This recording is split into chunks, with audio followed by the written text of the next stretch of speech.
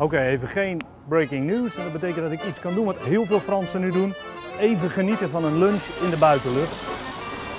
Want de Franse lunchcultuur ligt weliswaar onder vuur, maar houdt toch stand. Niet alleen vanwege het lekkere eten, maar misschien ook wel vanwege dit. Excusez-moi.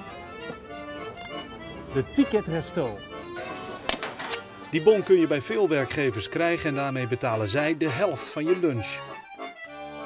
C'est moins cher pour nous car l'entreprise euh, paye. Ça nous permet de pouvoir aller dans n'importe quel restaurant. Maar de Fransen zouden de Fransen niet zijn als ze er ook niet iets heel erg handigs mee zouden doen. Want eigenlijk mag het natuurlijk helemaal niet, maar met die ticketresto kun je ook gewoon boodschappen doen. Ja, dat mag eigenlijk niet, deze ticketrestaurant gebruiken, maar bijvoorbeeld daklozen willen hem ook graag hebben.